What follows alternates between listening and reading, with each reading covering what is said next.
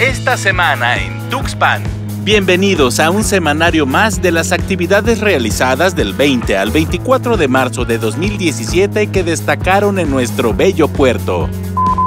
Autoridades municipales dieron a conocer que el pasado puente vacacional transcurrió en completa calma para los más de 13.000 turistas que arribaron a nuestro puerto de Tuxpan y que luego del operativo que desplegaron elementos de la Secretaría de Seguridad Pública, Tránsito y Vialidad, así como Protección Civil y Bomberos, se reportó saldo blanco.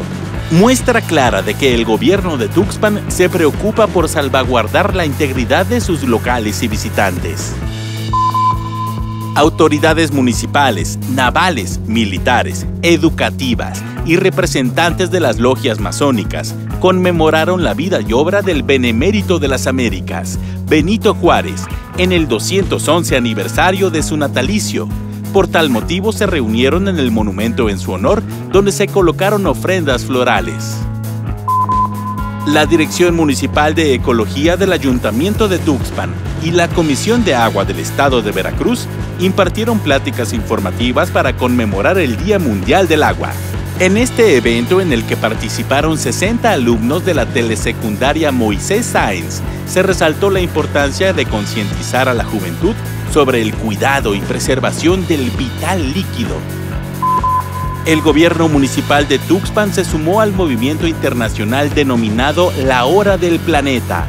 Esta actividad consistió en apagar las luces no esenciales durante 60 minutos.